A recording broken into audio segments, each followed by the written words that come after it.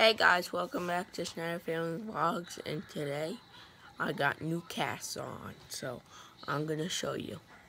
Here we go. So this is the left cast. And yeah, it's blue and red.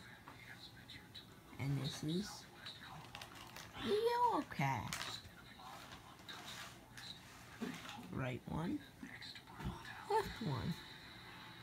So these are my new casts. They're supposed to be like Cavaliers colors and stuff.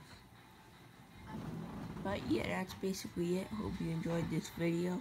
Just remember, we love you guys and anything's possible if you go get it. And I will be getting these off in exactly four weeks.